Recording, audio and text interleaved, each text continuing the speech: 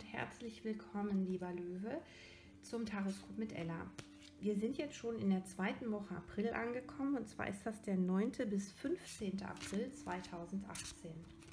Wir schauen mal, was die Karten an Energien mitbringen, was wichtig für dich ist, was relevant ist, worauf du achten solltest und du nimmst dir mit, was du gebrauchen kannst, was dir weiterhilft.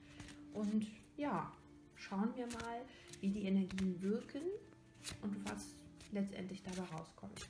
Gerne auch Kommentare, Fragen, wenn ihr irgendwas wissen möchtet. Wir gucken mal. Die erste Karte, wie du über dich denkst. Die zweite Karte, was du dir wünschst.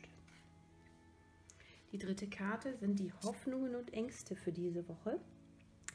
Dann haben wir, das ist gut für dich das ist nicht gut für dich und der mögliche Ausgang.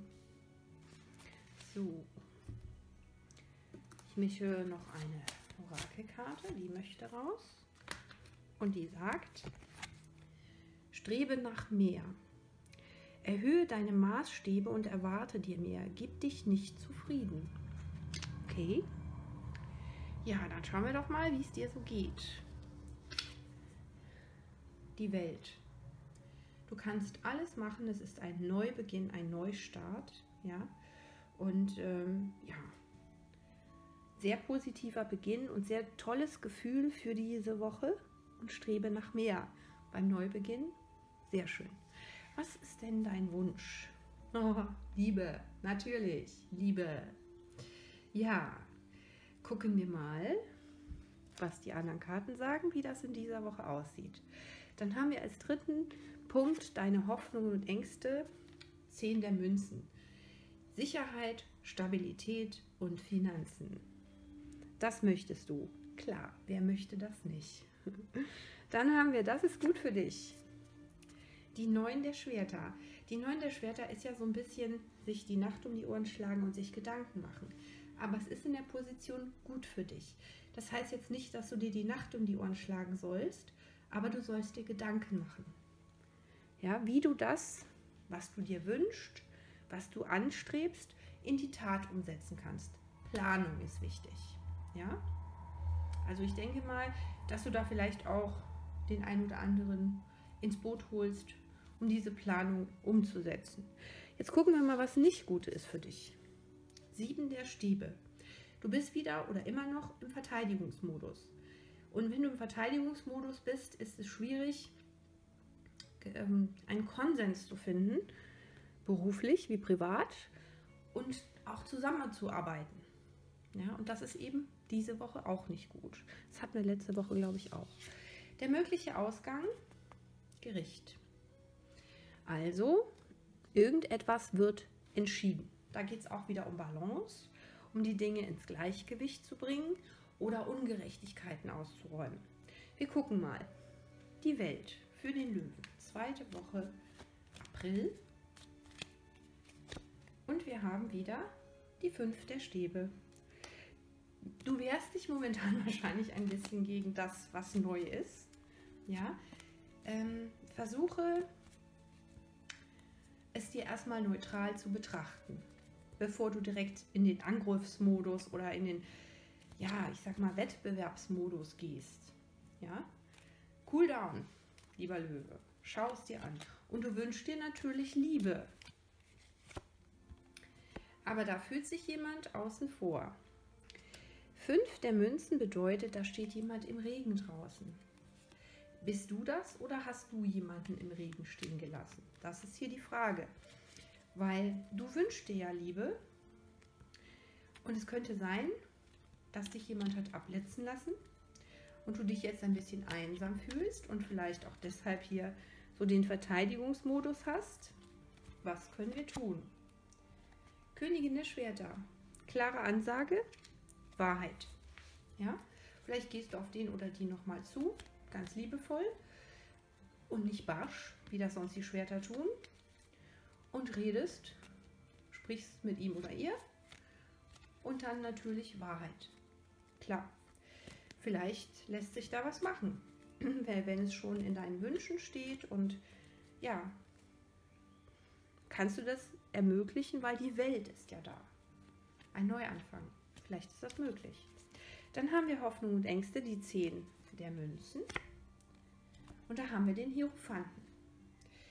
Das ist eine Institution vielleicht oder es geht um Tradition, eine Ehe, was auch immer. Ähm, da müssen wir noch mal näher ran. Kann auch sein, es geht um Glaube, der Glaube an dich. Ja, du musst stetig und konzentriert daran arbeiten mit dem Ritter der Münzen. Ja, von heute auf morgen wird das nicht funktionieren. Aber wenn du an dich glaubst und die nötige Arbeit hineinsteckst und natürlich Geduld hast, kannst du das erlangen. Ja, und dazu machst du dir wahrscheinlich hier Gedanken. Aber du hast auch ein Angebot in diesem Bereich abgelehnt.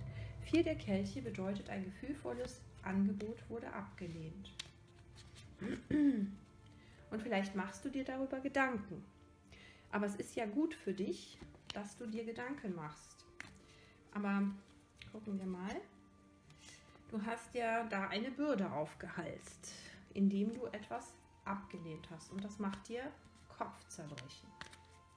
Okay, du kannst auch da wieder einen Neubeginn starten, indem du auf denjenigen oder diejenige zugehst, darüber sprichst und bei der Wahrheit bleibst.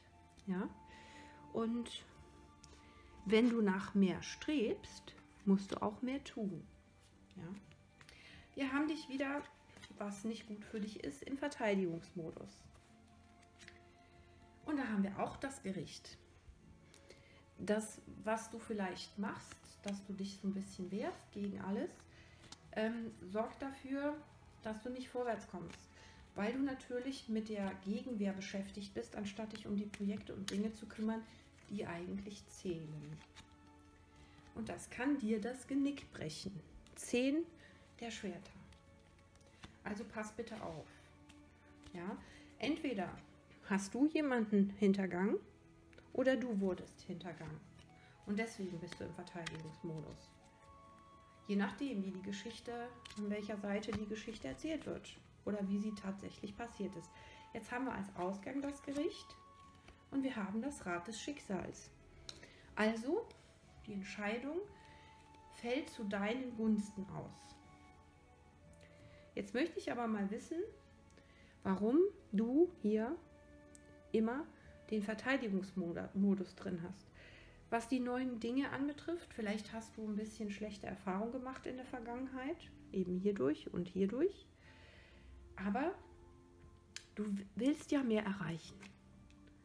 Du hast in der Liebe jemanden außen vor gelassen oder wurdest selbst außen vor gelassen. Da kannst du einen Neuversuch starten, weil du die Welt im Hintergrund hast, wenn du dich nicht zu sehr dagegen wehrst ja, und offen genug bist dafür.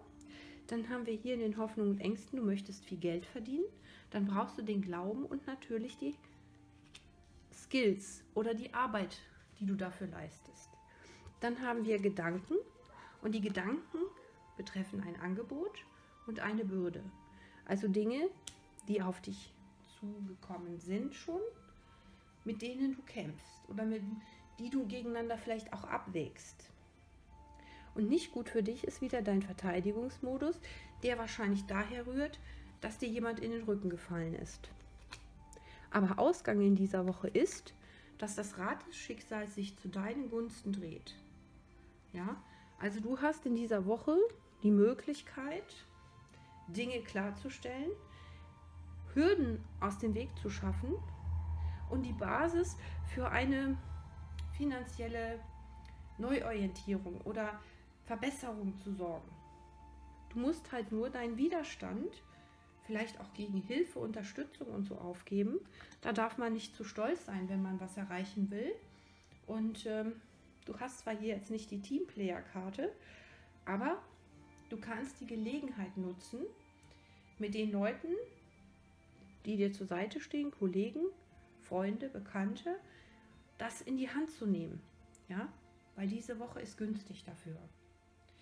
Ja, lieber Löwe, ich hoffe, du kannst was damit anfangen, kannst das umsetzen, kannst auch deine Wünsche dann langfristig erfüllen und ich sag mal solche Sachen auch vergessen. Ja. weil das ähm, laugt einen auch aus. Auch dieser Widerstand ständig könnte dich auslaugen. Deswegen gucken wir mal nächste Woche, was dabei rauskommt. Ich freue mich schon drauf und bin ganz neugierig. du wahrscheinlich auch. Auf jeden Fall wünsche ich dir eine tolle Woche. Wenn es dir gefallen hat, bitte Daumen hoch. Und äh, dann, wenn du magst, sehen wir uns nächste Woche wieder. Ich bedanke mich und tschüss.